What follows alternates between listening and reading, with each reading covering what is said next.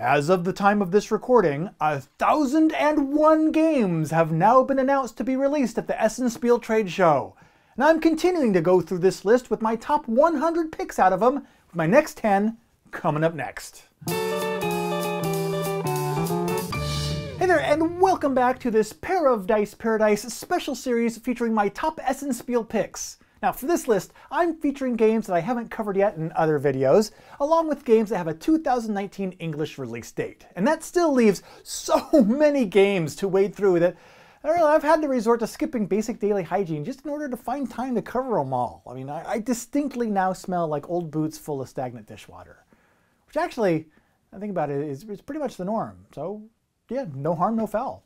Now this episode begins the second half of my list, starting with number 51, Circadians First Light, a dice-rolling worker placement game from Renegade Game Studios. The aim of Circadians First Light is to lead a team of researchers on the planet Ru. Players need to manage their crew, represented by dice, to visit various parts of the planet for trade, farming, construction, and research. Players score points for negotiating with the locals, harvesting resources for the depository, upgrading their research base, and exploring the planet while collecting gems. Circadians First Light is a worker placement game that distinctively does not look like it's going to smell like old dishwater. Number 52 is another game by Renegade Game Studios, Clip Cut Parks, which is called a roll and cut game. Clip Cut Parks claims to be the first of its kind, a game that puts a twist on the roll and write gameplay by introducing a new roll and cut system. In the game, players have been called upon by their mayor to create a set of gorgeous parks with greenery to beautify the urban landscape. With a pair of scissors and a plan, they will put their snipping talents to the test, clipping out a park full of dazzling multicolored features. The first player to complete five park cards wins the game. Uh, I'm not actually sure what I think about this one yet, and it's on my list because I want to get a closer look at it at Essen to see what it's really all about. I mean, on one hand, the idea of using scissors as a game component to develop an innovative new mechanism is pretty intriguing. On the other hand, though, when I look at the urban inception-like hellscape depicted on the box cover, I start to just shudder in fear that its inhabitants are stuck in some sort of living, perpetual Langoliers-like nightmare. Number 53 is Wayfinders, a game of pathfinding planes by Pandasaurus Games. Welcome to the whimsical world of Wayfinders, in which intrepid explorers race to chart new paths throughout the skies. In this game, players will need to think on their feet and outfit their planes with the right gear. Gotcha! Additionally, building hangars on islands and stocking in with the right parts can help the player's planes zip around with ease. Okay, sure, do that too. Oh, and also, be sure to chart your courses wisely and unlock the various charms of the islands. okay, sure, I'll add that, add that to the list. The seaplanes are ready to take off, so get your engines purring, put your goggles down, and get your wheels up. Okay, enough! Stop giving me chores to do, Wayfinders board game. Ah! Wayfinders joins my list because its modular design makes it seem highly replayable, its push your luck element hopefully retains a sense of risk in each and every game, and its estimated 25 to 45 minute playtime will hopefully keep it from becoming a drag if those risks don't pay off. Number 54 is Chartered the Golden Age, an economic city building game published by Jolly Dutch Productions. In this game, you're a merchant looking to profit from the budding trade in Amsterdam in the 1600s and participate in the growth of a multitude of chartered enterprises. For example, several European nations are racing to partake in the lucrative spice trade. Oh yeah, who wouldn't want to slice that sexy Anglo-economic action? And to add to the trade trafficking titillations, in order to increase their working capital, you and the other merchants in the game are using stocks for the very first time in history. Hmm, flirting with fledgling financial foundations. Nice. To do all of this, players buy building cards, establish chartered enterprises, and purchase stock in them. And throughout the game, players expand these enterprises, increasing their stock value and ultimately increasing their wealth. Enterprises merge to accelerate their growth and add floors to their warehouses to easily gain value. Players will also aim to block enterprises that they don't have stocks in, but might be forced to help them grow as well. So buy the right stocks and build the right warehouses to put yourself on the path to victory. Now, for all of the fiscal hubbub that's in the game's description, Chartered the Golden Age actually boasts that it sports an easy to learn and easy to play game system. That, and it also has lots of neat little 3D buildings all over the board. So, in the end, I suppose that it was this game's combination of intense European spice market speculation action and cute little building models that pushed me over the edge to want to find out more about it. Number 55 is the political negotiation game set in the animal kingdom, Zoocracy by Haas Games. Breaking news, zoo animals have received their political autonomy and established a democracy in the form of a government. Now, each party wants to implement their own political agenda. To do this, each player will lead one of the animal parties using a clever strategy and their best negotiation tactics. Trust in your animalistic instincts to win elections and hold political offices, or plot and pressure the government from the opposition. In the end, whoever has implemented the most political goals wins the game. Got it? Because there's more. Okay. Every round, there is a parliamentary election campaign where players can spend their food tokens on different animal species to win their votes for the next parliamentary election. The parliament usually gets elected every other round, and after that, players have to form a coalition with a majority of seats in the parliament.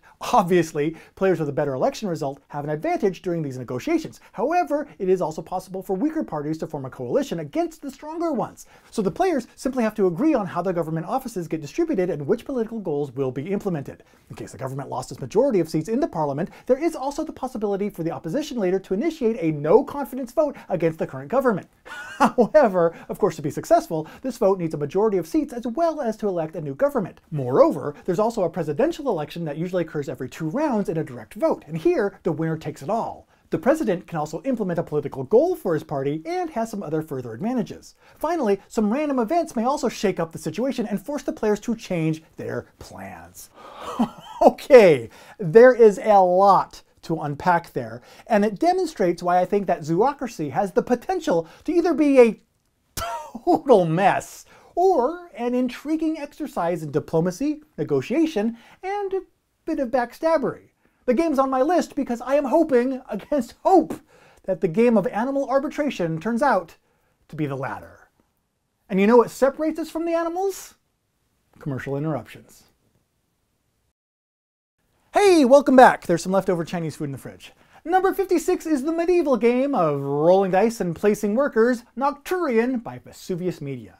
After thwarting the deadly elemental invasion which happened off screen, the young Emperor Alexis IV tries to recover for his people their lost wealth and dignity, but he cannot protect the realm alone. Furthermore, he refuses to invest the kingdom's remaining wealth in the northern European spice market. As a result, the Evergreen Empire stands on the brink of annihilation. The noble houses of Evergreen hold power and resources, but due to their own personal interests, they never work together. Alexis must then find out which of the noble houses is worthiest and most loyal to him so he can put them in charge in the capital as first among his equals. Yeah, good luck with that. In Nocturion, players take the role of those noble houses in an effort to fulfill the quests of Emperor Alexius IV, prove their loyalty, and earn their place at the Emperor's right hand. Players accomplish this through dice rolling, worker placement, and resource management.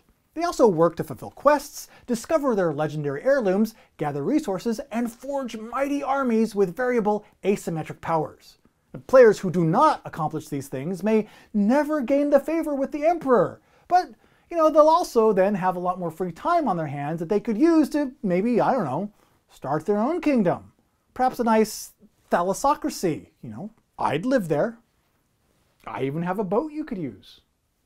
Number 57 is Devir Games' Paris, la Cité de la Lumière, which I believe translates to Paris, the city of butlers who have been transformed against their will into living candlesticks. The game is set in the late 19th century Paris during the 1889 World's Fair, when electricity, available to the public, was a hot topic, and 99 years before Hot Topic would be available to the public. The availability of electricity eventually was spread throughout the city, creating today's beautiful nocturnal Parisian streets and coining Paris's nickname La Cité de la Lumière, or the City of Lights. Oh! In the game, the most well-lit buildings are admired more highly by passers-by. In the first phase of the game, players can either place tiles or grow their reserve of buildings. Then, in the second phase, players build on top of spaces in an effort to position their buildings as close to as many streetlights as possible. More streetlights solicit more adoration and points, but we all know that. And in the end, the player with the best lit buildings steals the hearts of the Parisian pedestrians and wins the game. C'est magnifique! Number 58 is Board Game Cafe Frenzy, a trick-taking card game with a worker placement mechanism by the Wood Games. In this game, you have opened up a brand new board game cafe and want to earn as much money with it as you possibly can. However, others out there are doing the exact same thing in the exact same city on the exact same street. So you better figure out how to succeed better than they can before y'all just wise up and realize that the real money is in funding lucrative working capital in the Amsterdam fledgling stock markets. You idiots! Board Game Cafe Frenzy is a tactical trick-taking game that consists of two phases, preparing and opening the door, with each phase lasting 10 turns. In the preparing phase, each player buys a card from the market in one of five types, board games, snacks, clerks, stores, and Wi-Fi, all things that are vitally important in running your board game cafe. And during the opening the door phase, players use the cards that they acquired during the first phase. But players must play a different color than what's already been played, with higher numbers also being important. And after that, players undergo a final scoring, and the one who has earned the most money wins the game. Number 59 is an action dexterity, battle card driven, cooperative, campaign style storytelling game with a medical theme, Sarah's Vision by Beloisi Group. Wow! What? Welcome, citizen, to Europe. 2163 AD, where you will find automated transport systems, flying cars, unlimited energy, seamless flow of information, and board games with a curiously long list of mechanisms. The growth of technology continues to disrupt, amaze, and influence society. In fact, the human race is fast approaching a huge catalytic technological disruption that will democratize knowledge in all systems, potentially enabling people to live truly fulfilled lives. However, of course, there's one group of stick in the muds who oppose all of this, an elite few who want to see a return to the dark ages of the early 2000s when they held all the power. They're over 163 years old. Only one special organization, known as the agency, of which you are a member, is responsible for ensuring the best possible outcome for society and keeping the citizens safe. Sarah's Vision, a story-driven cooperative game of strategy and resource management, is set in a world beyond imagination in which players take on the role of agency operatives and have to work through a series of story-driven events. I'll be honest, my expectations for Sarah's Vision is mixed, partly because of the long list of mechanisms the game boasts, but also because pictures of the game also feature this Jenga-like structure that's also utilized somehow in the game. So while I'm not certain how all of these things will work together, it has made me curious enough to include the game on the list of the ones that I think are worth finding out more about at the Essenspiel. And even though there weren't any images yet available for the 60th game on my list, I still wanted to include the sci-fi set collection dice game by Ludi Creations, So You've Been Eaten, a game listed as being for 0 to 2 players. Yes, that's right, 0. I'll get back to that in a minute. But first, there's the more pressing matter that yes, you, you have been eaten. But don't worry, as a deep space miner, this, this is simply a common occupational hazard. So no reason to panic. The corporation that employs deep space miners, like you, has calculated that if you manage to mine enough crystals to meet your quota, well, then it will be cost effective enough for the corporation to activate your jetpack and extricate you from the literal belly of the beast that you now find yourself inside of. However, if you fail to collect the necessary crystals by the time that you reach the end of the beast's digestive tract, you know what I'm talking about, you, you'll still be able to safely exit the beast alive, but forever changed. In So You've Been Eaten, the miner and the insatiable beast face off against one another, with the miner earning points by collecting crystals and the beast earning points by developing immune responses as its bacteria attempt to devour the miner. So You've Been Eaten can be played as a game for two players, with a miner playing against a beast player, a game for one player, with the miner player playing against a sleeping beast, a game for one player with the beast playing against a robot miner, or a game for zero players with a sleeping beast against a robot miner. How does that work? Unfortunately, I don't, I don't actually know because that's where the game's description ends. And speaking of ending, that's it for this episode. But join me again in just a few days as we continue on to the next batch of my top picks of the games coming out at this year's Essen Spiel. Until then, I've been Chaz Marler from Pair of Dice Paradise, and take care. Whether you're a tabletop gamer or an interstellar life form that just enjoys dice, you'll absolutely adore hanging this playful Pair of Dice Paradise shirt upon your body.